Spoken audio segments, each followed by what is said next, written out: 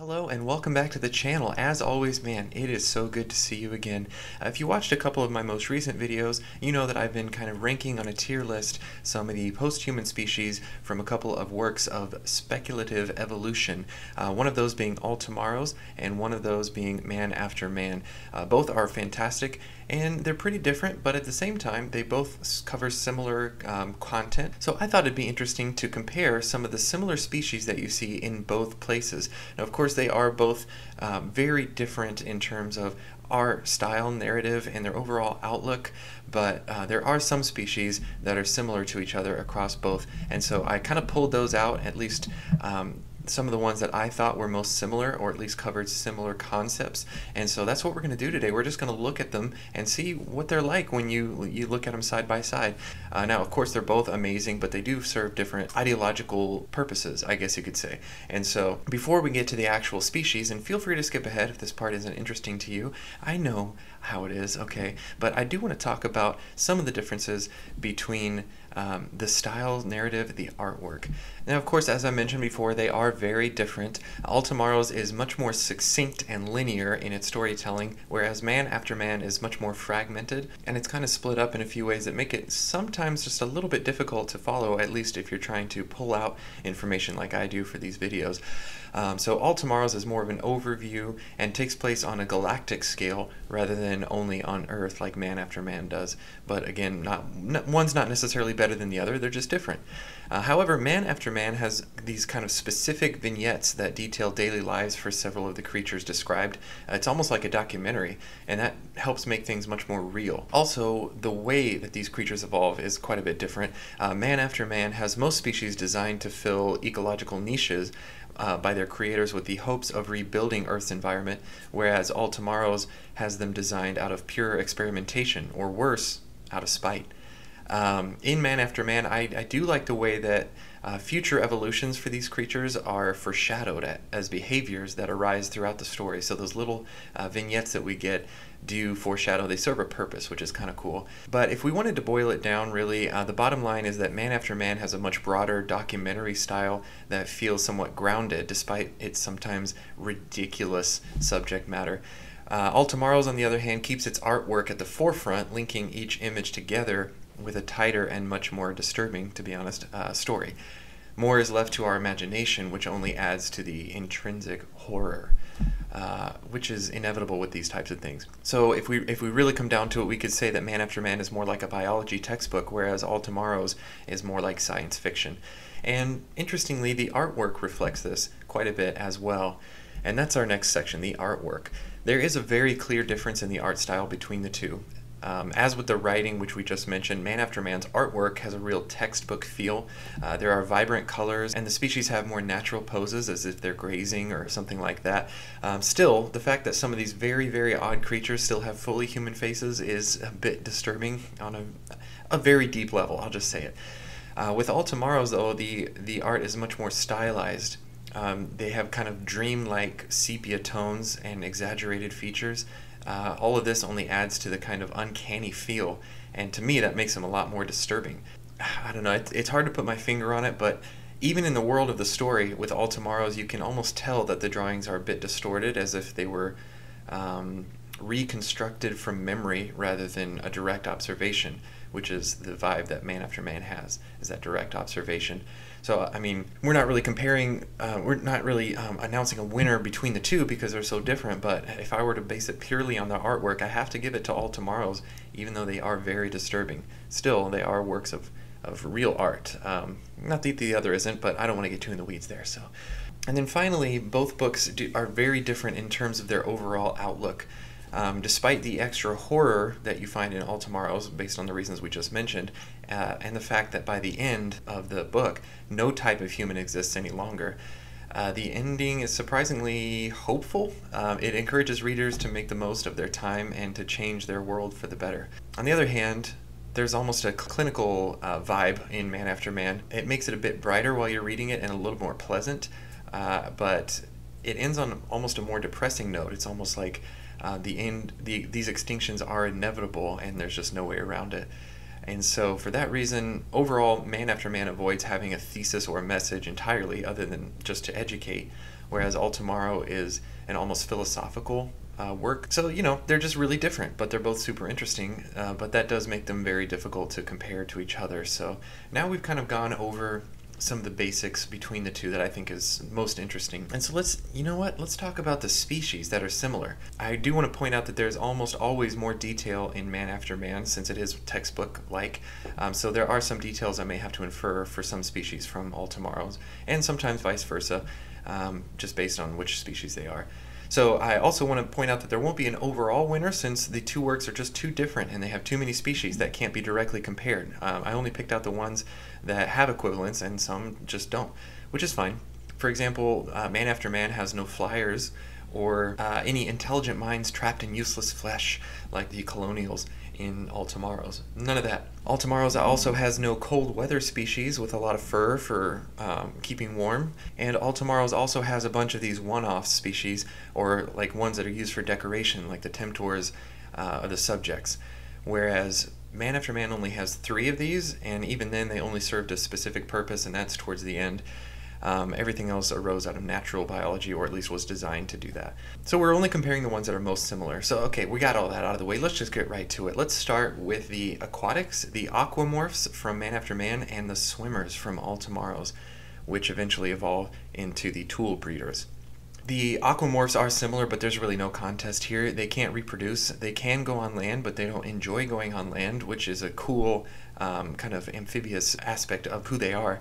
Uh, but they're again, they can't reproduce, so they can't really be compared to anything else because they die out uh, if there's no human there to genetically modify another one. So we'll move on to the aquatics, still from Man After Man. They're very odd looking. I love the way one other YouTuber puts it, which is they have resting fish face. But at least they don't have this weird nose, which is what the swimmers have, and that always freaks me out. I had a comment that pointed out that noses on these creatures is what really lends to this uncanny feel that I don't like. But it's still that's part of what All Tomorrows is, is, is that's the artwork, okay?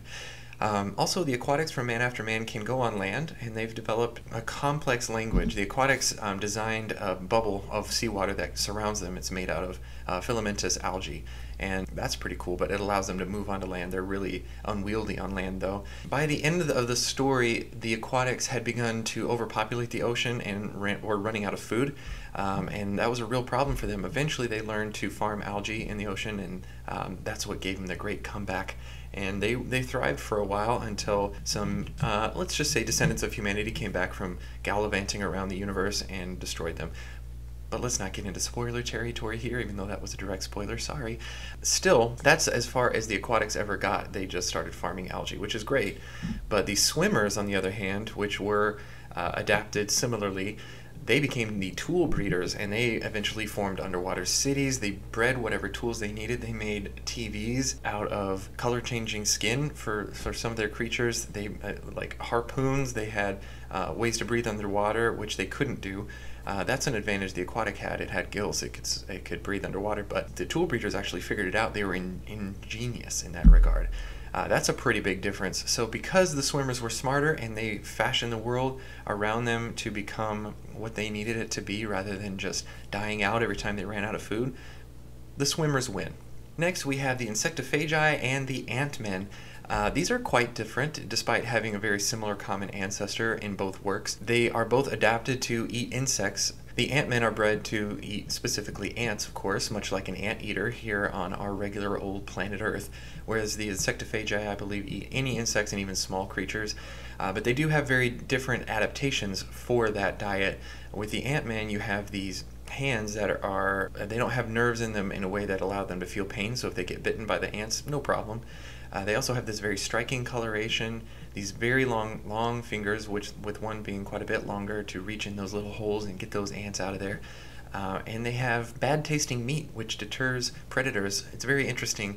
Uh, whenever an ant bites them, their body repurposes the venom uh, rather than producing a reaction. It integrates them into the cells and it makes their meat taste terrible, so predators avoid them. Uh, that's a pretty cool adaptation, and it arose completely naturally. Whereas the insectophagi, they do have some adaptations as well, but not nearly as much detail is given. They have a very long tongue. Uh, they have these long fingers as well. And I guess they use the tongue primarily for getting those bugs out.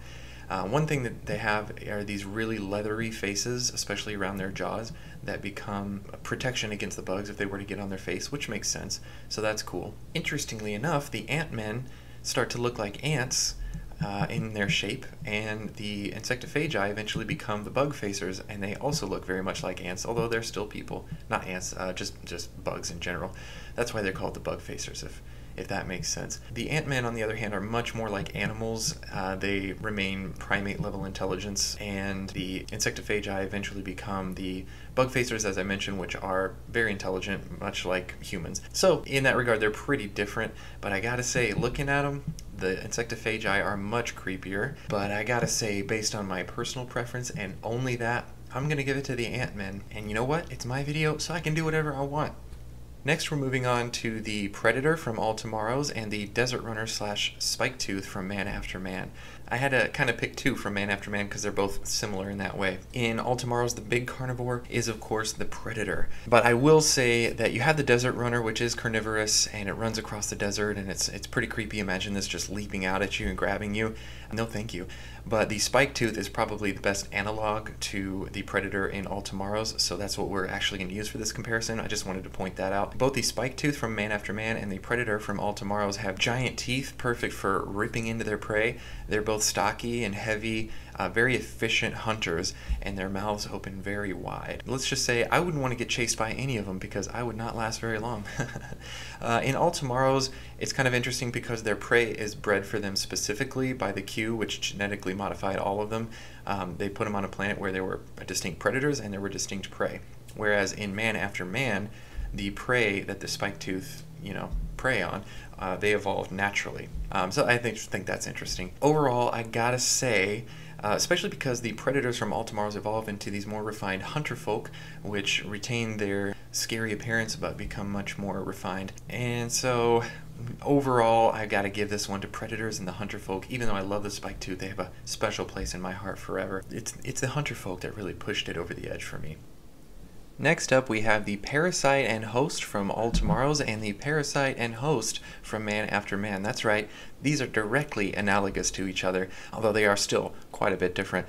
Uh, in All Tomorrows, of course, they were modified directly and uh, placed on a planet with a parasite and a specific host, just like the predators and prey were, uh, whereas in Man After Man, both evolved naturally from two separate uh, lineages, if you will. In Man After Man, the parasites are they're basically just small primates that live on blood, um, and they have these grasping hands to grab onto these big folds of fat that their hosts have, and uh, they just bite into them with these specialized teeth. And so there's only one uh, type, and their hosts are blubbery and dim-witted beings, and they have a big supply of blood because they have a big supply of fat. Whereas in All Tomorrows, you have a bunch of different types of parasites being bred uh, that do different things. Some evolved to suck blood, just like normal, like a leech or something, and others evolved to enter their host's reproductive tract or something like that, and they end up killing their hosts. So they have all these different ones, and the ones that came out on top were the ones that, um, you know, didn't kill their hosts, which makes sense, uh, and they evolved in a way that they were adapted to one specific type of host and some provided their hosts with different advantages like better eyesight or different senses and stuff like that. Now, in All Tomorrows, eventually the parasites evolve uh, with their host to become much more uh, symbiotic, or at least on the symbiotic side of the spectrum. But in Man After Man, there no such thing happens. These little parasites just jump onto these poor hosts and they just live there. And the hosts just wander around, not even paying them much attention, but they're still independent of each other in that regard. It's a parasitic relationship, in other words, and it stays that way until they die out. We'll come back to the host and parasite from All Tomorrows because they evolve into something different, and we'll compare that to a different species in Man After Man. But for now, I'm just going to give these guys a tie because they're too similar at the moment. Next, we have the Blind Folk from All Tomorrows and the Cave Dweller from Man After Man. Now, this one is kind of tough to compare directly because while they both dwell underground or in caves, Man After Man gives virtually no details on these besides a very brief story where they're mentioned, and there's not even a drawing to show you. Uh, so I made this drawing for a previous video, you can check it out. But since I don't know what they look like, they are cloaked in shadow. Uh, the blind folk from All Tomorrows are very adapted to life underground. They have these huge ears, they don't have any eyes or skin pigment, and they uh, move around listening with these ears for the creatures that hunt them, uh, which use echolocation. So that's kind of their way of getting an advance warning. I do say, I, I will say, despite the lack of information giving in all tomorrows, I do like the fact that there's this mystery that surrounds the cave dwellers. Um, and it plays out in another story involving another species called the Travelers, which is it's very intriguing and, and disturbing, even though it's very short. But unfortunately, that's not enough to win this head-to-head battle between the two. So, sorry, but based on information, the blind folk win by default. Unfortunately, the blind folk do die out due to shifting tectonic plates, and the cave dwellers die out with no information given as to why. So there's that. Next, we have the finger fishers from All Tomorrows versus the fish eaters from Man After Man. In Man After Man, there are basically two analogous species that we could compare to the finger fishers from All Tomorrows, so I'll do both. This is the first one, which is the fish eater. Finger fishers fish in much different ways than the fish eaters from Man After Man. They use a very long finger, almost like a hook and they have very very small and sharp teeth and a lot of them stuck in their jaw. It seems that the finger fishers are more designed to wade between islands rather than diving after the fish, which makes sense. They live on a planet that has a lot of shallow oceans between many islands, so they're just wading around. The fish eaters, on the other hand, from Man After Man, have some very cool adaptations that are described in more detail. Like they have polarized lenses in their eyes, which allows them to see through the water even if it's a super bright day. And really cool, they have a brain that compensates for refraction, so if they see a fish in the water, they know exactly where to put their hand to get it, and they won't miss. Uh, they also have a very streamlined, elongated body. So they're designed to get in the water and go after the fish or, or very close to the water's edge. Uh, but I gotta say, between the two, as far as abs go, it definitely goes to the finger fisher. But as far as hunting fish goes, which is kind of the, the whole idea, my money's on the fish eaters. So for that reason, sorry guys, the fish eaters win. Now remember the old parasites I mentioned from All Tomorrows? Well, here's where they come back into play. Uh, so we're going to compare now the symbiotes and the symbionts from Man After Man. Uh, eventually, the parasites become the symbiotes in All Tomorrows, which is where this comparison comes in. In All Tomorrows, you have one species, which are the former parasites, called the symbiotes, which directly control their hosts by living on their heads. Uh, the hosts then are used like cars. They even switch them out for different uses. Like if a parasite is leaving the house for a business trip, he'll take one uh, host. If he's coming home to relax and he just wants to kick back, he'll choose another host. So that's just the way they, they trade them out. They're like cars. The symbionts, on the other hand, in Man After Man, they're two coexisting species that live and, and benefit from each other. Definitely more of a symbiotic relationship as I imagine it. They're now called the hunter and the carrier. The carriers literally carry the hunters. That makes sense. Where and the carriers also provide the hunters with warmth because they live in cold climates, whereas the hunters provide uh, much superior intelligence uh, for guiding them and also food. At first, the uh, hunters just direct the carriers by pointing where they want to go, but uh, as they evolve, the relationship becomes much more like a horse and rider, and they communicate telepathically. And they just they they develop this very strong uh, an almost loving bond, to be honest with you. It's very precious uh, to read about. There is a story where they have to fight each other, so uh, two symbionts are fighting each other, and it's more of a display of show more than anything. But one of them does die, and it's very sad because they, they really do like each other, and so they have this strong bond between each other. Whereas in All Tomorrows, you have basically it's al- it's still almost a parasite that lives on the host, even though the parasite is no longer hurting the host. It's just not quite the same as that special bond. So for that reason, the symbionts win. Sorry that they had to go extinct uh, due to a change in climate. Next, we have a comparison. This one's kind of a stretch, but I'm only comparing them because they're they're both gentle giants. We have the Titan from All Tomorrows and the Slothman from uh, Man After Man. So it's not quite a direct comparison, the Titan from All Tomorrows is much much larger, and it kind of has this modified lower lip, which is like a trunk of an elephant. Still, despite the fact that they are very different sizes, the Slothman in the world of Man After Man is one of the biggest creatures on land, if not the biggest. They, they just seem pleasant to be around. They both seem happy. They're basically like an elephant and a giant sloth, so who wouldn't want to check those guys out? They also both went extinct under tragic circumstances. The Titans were killed by an ice age when they were just redeveloping sentience, or uh, uh, sapiens, sorry, I had to be very careful, and the Slothmen were killed out by predators, basically. Still, I gotta say, the fact that the Titans are so huge, I believe the book says they were 40 meters, that makes them pretty cool, so the Titans win this round. And never forget to remember the Titans. Next, we have the Islander versus the Fingerfisher. So this is the other Fingerfisher comparison I mentioned was coming up. Uh, interestingly, the Islanders are the ancestors of the parasites from Man After Man, which I mentioned before. In both stories, both the Fingerfishers and the Islanders are post-humans forced to adapt to island life but they did this in extremely different ways. The Islanders from Man After Man just were kind of trapped by rising waters after climate change, and so they were just spread out amongst these islands. And in fact, one group from the islanders split off and left. Uh, in a boat that they had made. Uh, that's a that's a story for another time. The islanders from Man After Man are small and they're adapted to a scarce though very high protein diet. So to adapt to that, they just became smaller. Uh, the fingerfishers, as we've discussed, they reach into the water and they do seem more adapted to island life um, to me, based on those long fingers and and fish-like teeth, and that makes more sense because they were specifically engineered to live on the islands rather than just getting trapped there, essentially. Uh, so for that reason, the fingerfishers win. Plus the parasites that the islanders turn into. That's kind of kind of creeping me out. So. Next, we have the plains dweller and the mantelope. These species are very different, uh, but because they both eat grass, I figured I might as well compare them. Of course, the plains dweller, which is from Man After Man, is actually still humanoid. It's got, uh, you know, two legs, two arms, stands upright, and all this different stuff. Whereas the mantelope from All Tomorrows, it looks like an antelope. That makes sense. The plains dweller uh, from Man After Man has a has a ruminating gut, as as the text puts it, and grinding teeth to get those plants down.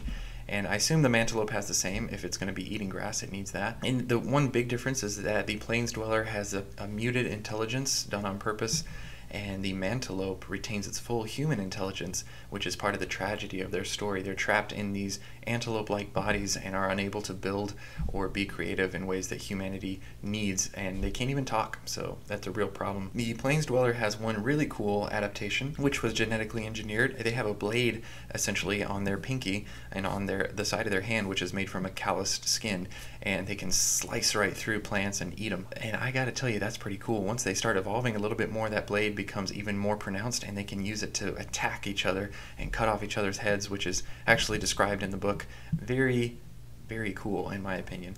Uh, the Mantelope story is a sad one, but I gotta give it to the Plains Dweller, so that's where it's gonna go. Next, we have the Spacers from All Tomorrows and the Vacuumorphs from Good Old Man After Man. Now, I picked these two species, even though they're very different, but just because they both live in zero gravity.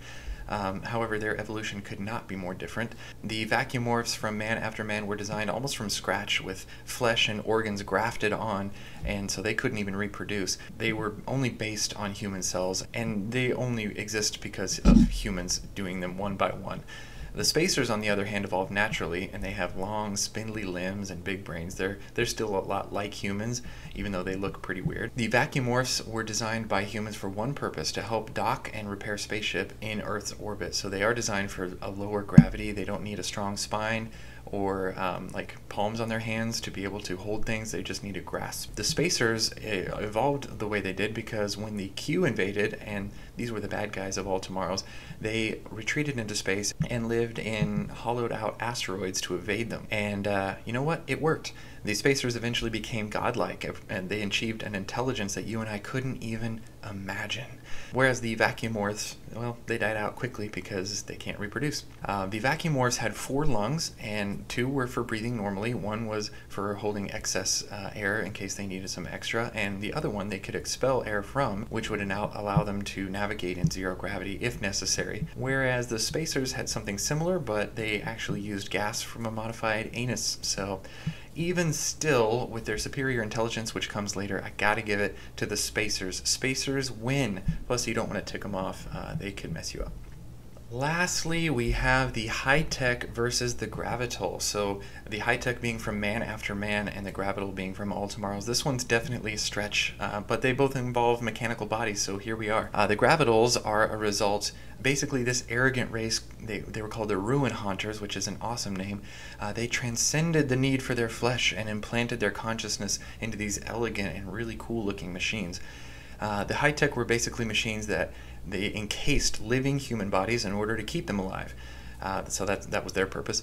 Uh, the gravitals became genocidal and eventually wiped out almost all of humanity's descendants, whereas the Hitek replaced their machine bodies with flesh again, um, going back to the old ways, and they became lumpy and disturbing abominations called the tick, who eventually ran out of food and they died out. So let's just say one is a perfect killing machine with an intelligence that rivaled the godlike spacers, and one is a petty body horror obsessed with fashion. So winner gravitals on that one. And with that, we've reached the end of the list of species that I feel can be at least somewhat directly compared. Uh, if there are any I missed, be sure to let me know in the comments because this is such an interesting conversation to have. These two works, while vastly different, still scratch that uh, uncanny itch in our brain to see what the future could look like, even if it is fictional. So if you enjoyed this video, leave me a like, it helps me out a lot, and thanks for watching. I will see you in the next one.